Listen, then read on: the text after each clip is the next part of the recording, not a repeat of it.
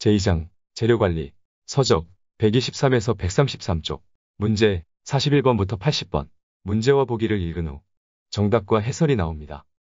문제 41번 설탕에 대한 설명으로 거리가 먼 것은 1. 물에 잘 녹는다. 2. 갈변 반응을 일으킨다. 3. 단맛을 낸다. 4. 호화 반응을 일으킨다. 답은 4번 호화 반응을 일으킨다. 호화란 전분이 물과 열에 의해 팽윤되어 있는 것이다. 문제 42번 우유에 대한 설명으로 틀린 것은 1. 우유의 유당은 껍질색을 개선시킨다. 2. 우유의 락토알부민은 산에 의해 응고한다. 3. 유당은 이당류로 포도당과 갈락토오스로 이루어져 있다. 4. 우유의 주요 단백질은 카세인이다. 답은 2번 우유의 락토알부민은 산에 의해 응고한다. 락토알부민은 열에 의해 응고하며 우유의 주된 단백질인 카제인은 산에 의해 응고한다. 문제 43번 다음 재료에 대한 설명 중 틀린 것은 1. 밀가루는 체질하여 공기를 혼입시킨다. 2. 소금이 과다하면 발효에 방해가 된다. 3. 마요네즈는 육아공품이다. 4. 설탕은 포도당과 과당으로 구성된다. 답은 3번 마요네즈는 유가공품이다. 마요네즈는 달걀 노른자와 오일, 식초로 만든다. 문제 44번 다음 재료에 대한 설명으로 틀린 것은 1. 칼슘염은 이스트에 영양을 공급하는 이스트푸드의 성분이다. 2. 제빵에서 소금은 반죽을 강하게 한다. 3. 단백질은 고온으로 가열하면 변성된다. 4. 신선한 달걀은 껍질에 광택이 없고 거칠다. 답은 1번 칼슘염은 이스트에 영양을 공급하는 이스트푸드의 성분이다. 이스트에 영양을 공급하는 이스트푸드의 성분은 암모늄염이다. 문제 45번 다음 중 재료의 역할로 잘못 짝지어진 것은 1. 소금, 반죽의 연화 2. 이스트, 반죽 팽창 3. 주석산, 머랭의 강화 4. 달걀, 결합제 역할 답은 1번 소금, 반죽의 연화 소금은 글루텐을 강화시키므로 반죽을 단단하게 한다. 문제 46번 다음 중 밀가루의 품질 평가 방법으로 바르지 않게 짝지어진 것은 1. 단백질, 켈달법 2. 회분 105도, 건조법 3. 파리노그래프, 반죽의 점탄성 4. extensograph, 반죽의 신장성 답은 2번 회분 105도, 건조법 회분은 550에서 590도에서 태운다. 105도 건조법은 수분 함량 측정 방법이다. 문제 47번 다음 중 갈변 반응에 대한 설명으로 옳지 않은 것은 1. 카라멜화 반응은 당류 단독으로 가열하는 경우 일어난다. 2. 마이야르 반응은 아미노 화합물과 카르보닐 화합물이 존재해야 일어난다. 3. 갈변 반응에 의해 높은 온도에서 빨리 일어난다. 4. 캐라멜화 반응은 자연 발생적으로 일어난다. 답은 4번 캐라멜화 반응은 자연 발생적으로 일어난다. 캐라멜화 반응은 가열해야 일어난다. 문제 48번 유지 제품에 대한 설명으로 잘못된 것은 1. 버터는 우유 지방을 원료로 한다. 2. 쇼트닝은 지방이 80% 함유되어 있다. 3. 마가린은 동식물성 지방이 80% 함유되어 있다. 4. 쇼트닝은 무생무미, 무취이다. 답은 2번 쇼트닝은 지방이 80% 함유되어 있다. 쇼트닝은 지방이 100%이다. 문제 49번 초콜릿에 대한 설명으로 옳지 않은 것은 1. 하드버터는 템퍼링이 필요 없다. 2. 템퍼링을 잘하면 햇불룸 현상이 예방된다. 3. 초콜릿은 냉장 온도에 보관하는 것이 바람직하다. 4. 화이트 초콜릿에는 코코아가 포함되어 있지 않다. 답은 3번 초콜릿은 냉장 온도에 보관하는 것이 바람직하다. 초콜릿의 보관 온도는 18에서 21도가 바람직하다. 문제 50번 안정제에 대한 설명으로 맞는 것은 1. 한천은 젤라틴보다 응고 온도가 낮다. 2. 젤라틴은 불완전 단백질이다. 3. 산을 첨가하면 젤라틴 젤리가 단단해진다.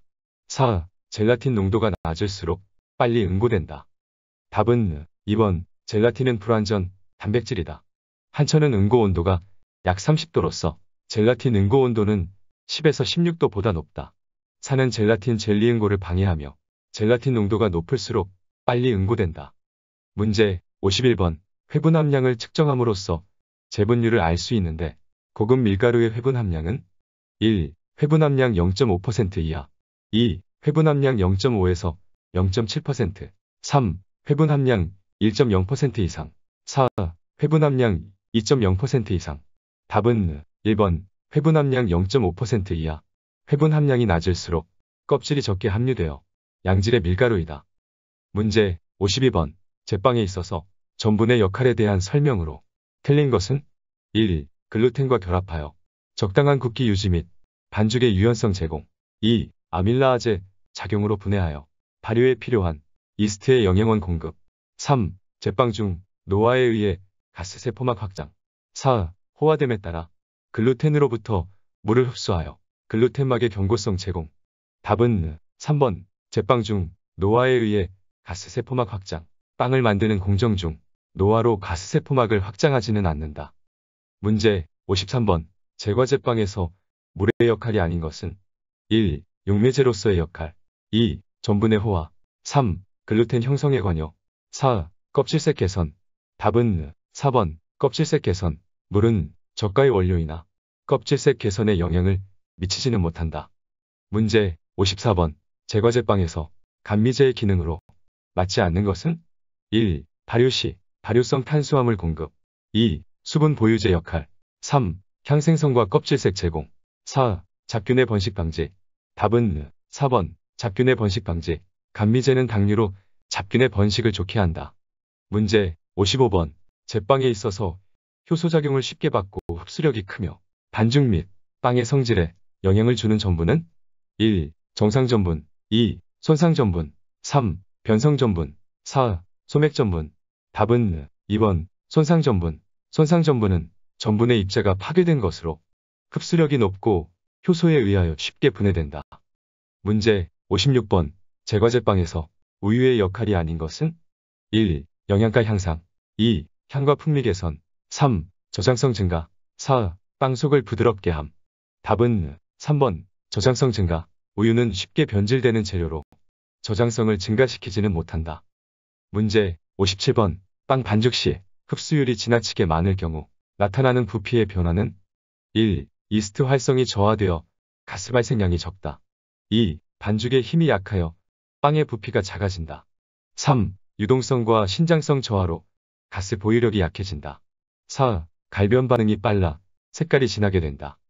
답은 2번 반죽의 힘이 약하여 빵의 부피가 작아진다. 흡수율이 높으면 적정량보다 많은 물이 사용된 것으로 반죽의 힘이 약하여 빵이 퍼지고 주저앉는다.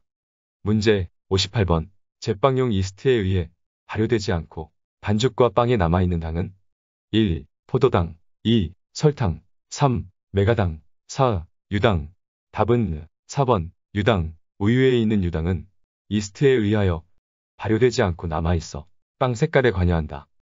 문제 59번 달걀 사용과 보존상의 주의점 설명으로 맞지 않는 것은 1. 달걀 껍질에 미생물이 있어 사용 전 물로 씻어 사용하는 것이 바람직하다. 2. 장시간 보관 시에는 깨끗한 물로 씻어 냉장 보관한다. 3. 산 기름, 향신료, 과실 등의 냄새가 강한 식품과 같이 보관하지 않는 것이 좋다. 4. 흰자 거품을 올릴 때에는 용기에 기름기나 노른자가 없어야 한다. 답은 2번 장시간 보관 시에는 깨끗한 물로 씻어 냉장 보관한다. 달걀 껍질을 물로 씻으면 오히려 보존성이 나빠진다. 문제 60번 생이스트에 대한 인스턴트 건조이스트 사용량으로 알맞은 것은 1. 1대 0.1에서 0.2 2. 1대 0.3에서 0.4 3. 1대 0.5에서 0.6 4. 1대 0.7에서 0.8 답은 2번 1대 0.3에서 0.4 생이스트 양에 비하여 인스턴트 건조이스트는 약 0.33배 정도 사용한다. 문제 61번 제빵에서 밀가루의 기능이 아닌 것은 1. 구워진 제품의 골격 형성 2. 부피의 관여 3. 노화 지연으로 껍질을 부드럽게 함 4. 껍질과 속의 색, 맛 등의 영향 답은 3번 노화 지연으로 껍질을 부드럽게 함 밀가루의 전부는 노화로 껍질이 질겨진다. 문제 62번 노른자에 존재하여 제과에서 유화제의 역할을 하는 레시티는 다음 중 어느 것에 속하는가? 1. 인단백질 2. 지단백질 3. 인지질 4. 단순지질. 답은 3번 인지질. 레시틴은 달걀 노른자에 함유되어 있는 인지질이다. 문제 63번 제과제빵에서 소금의 역할 설명으로 맞지 않는 것은 1. 이스트의 발효 촉진제로 작업 속도 조절 2. 단백질을 강하게 하고 반죽 중 글루텐 발전 지연 3. 빵의 맛과 향에 기여 4. 잡균 번식 방지로 저장성 향상 답은 1번 이스트의 발효 촉진제로 작업 속도 조절 소금은 이스트의 발효를 지연시켜 작업 속도를 느리게 한다. 문제 64번 유지의 기능으로 맞지 않는 것은 1. 유지 특유의 맛과 향을 제공하고 껍질을 부드럽게 한다. 2. 반죽의 신장성을 높이고 가스 보유력을 증대시켜 빵의 부피를 크게 한다. 3. 수분 증발을 방지하고 노화를 지연시킨다. 4. 밀가루의 단백질을 부드럽게 하고 영양가를 높인다. 답은 2번 반죽의 신장성을 높이고 가스 보유력을 증대시켜 빵의 부피를 크게 한다. 유지는 반죽의 신장성을 증가시키고 윤활 작용으로 빵의 부피를 크게 한다. 문제 65번 튀김 기름 사용 시 주의 사항에 대한 설명으로 맞지 않는 것은 1. 튀김 기름의 온도는 보통 180도 정도가 적절하다. 2. 상가가 높은 기름을 사용하여야 한다. 3. 튀김 기름은 여러 번 재사용하지 않는다. 4. 고온은 유지에 산패를 촉진한다. 답은 2번 상가가 높은 기름을 사용하여야 한다. 튀김 기름 사용 시 상가가 높은 기름을 사용하면 안 된다. 문제 66번 밀가루의 품질을 개선하고 제빵 적성을 향상시키기 위한 과정은 1. 재분 2. 숙성 3. 용해 4. 발효 답은 2번 숙성 숙성은 밀가루의 품질 개선 및 제빵 적성을 향상시키는 과정이다. 문제 67번 다음 중 이스트에 대한 설명으로 틀린 것은 1. 이스트의 최적 온도는 30에서 38도, 최적 pH는 5.0에서 5.8이다. 2. 생이스트는 수분 함량이 70에서 75%이다. 3. 활성건조 이스트는 수분 함량이 4.0에서 4.5%이다. 4. 이스트는 분열법으로 증식한다. 답은 4번. 이스트는 분열법으로 증식한다. 이스트는 출아법으로 증식한다. 문제 68번. 다음 중 이스트에 존재하는 효소에 대한 설명으로 맞는 것은 1. 치마아제는 포도당과 과당을 분해한다. 2. 말타아제는 설탕을 포도당과 과당으로 분해한다. 3. 리파아제는 지방산을 분해한다. 4. 인베르타아제는 메가당을 포도당과 과당으로 분해한다. 답은 1번 치마아제는 포도당과 과당을 분해한다. 치마아제는 포도당과 과당을 분해하여 이산화탄소와 에틸알코올을 생성한다. 문제 69번 이스트푸드에 대한 설명으로 맞는 것은 1. 질소원으로 염화 암모늄, 황산암모늄 등이 사용된다. 2. 효소제로 리파아제, 아밀라제 등이 사용된다. 3. 수질계량 제로 인산칼슘 등이 사용된다. 4. 산화제로 글루타치온 등이 사용된다. 답은 1번 질소원으로 염화 암모늄, 황산암모늄 등이 사용된다. 효소제로 아밀라제, 프로테아제 등이 사용되며 인산칼슘은 pH 조정제 역할을 하고 글루타치온은 환원제로 사용된다. 문제 70번 제빵 계량제에 대한 설명으로 옳지 않은 것은 1. 유화제가 포함되어 전분의 노화를 지연시킨다. 2. 전분이 분산제 역할을 한다. 3. 환원제가 포함되어 믹싱 시간을 단축시킨다. 4. 인산칼슘이 포함되어 효모의 영양을 공급한다. 답은 4번 인산칼슘이 포함되어 효모의 영양을 공급한다. 인산칼슘은 반죽의 pH 조정제 역할을 한다. 문제 71번 다음 중 화학 팽창제에 대한 설명으로 틀린 것은 1. 찐빵은 굽는 온도가 낮고 짧게 굽는 제품이므로 속효성 베이킹 파우더가 좋다. 2. 파운드 케이크에는 지효성 베이킹 파우더를 사용한다. 3. 산성 팽창제는 코코아 케이크에 사용하면 좋다. 4. 알칼리성 팽창제는 초콜릿 케이크에 사용하면 좋다. 답은 3번 산성 팽창제는 코코아 케이크에 사용하면 좋다. 산성 팽창제는 내부가 엷은 색의 제품을 원할 때 사용한다. 문제 72번 젤라틴에 대한 설명으로 맞지 않는 것은 1. 젤라틴은 농도가 높으면 빨리 응고된다. 2. 젤라틴은 완전 단백질로 젤리 제조 등에 사용된다. 3. 동물의 콜라겐을 정제해서 얻는다. 4. 젤라틴은 저칼로리 식품이다. 답은 2번. 젤라틴은 완전 단백질로 젤리 제조 등에 사용된다. 젤라틴은 불완전 단백질이다. 문제 73번. 안정제의 성질에 대한 설명 중 틀린 것은 1. 팩틴은 감귤류 껍질에 존재한다. 2. CMC는 셀룰로스 유도체이다. 3. 한천은 다당류에 속한다. 4. 젤라틴은 알칼리에 의해 응고력이 감소된다. 답은 4번. 젤라틴은 알칼리에 의해 응고력이 감소된다. 젤라틴은 산에 의해 응고력이 감소된다. 문제 74번. 향신료에 대한 설명으로 바른 것은 1. 오레가노는 제과 제빵에 가장 많이 사용된다. 2. 유성 향료는 내열성이 약하다. 3. 에센스 타입 향료는 가열식품에 이용한다. 4. 유화 향료는 내열성이 좋다. 답은 4번. 유화 향료는 내열성이 좋다. 제과제빵에 가장 많이 사용되는 향료는 바닐라 향이다. 유성 향료는 내열성이 강하다. 에센스 타입 향료는 내열성이 없어 가열식품에 사용하지 않는다.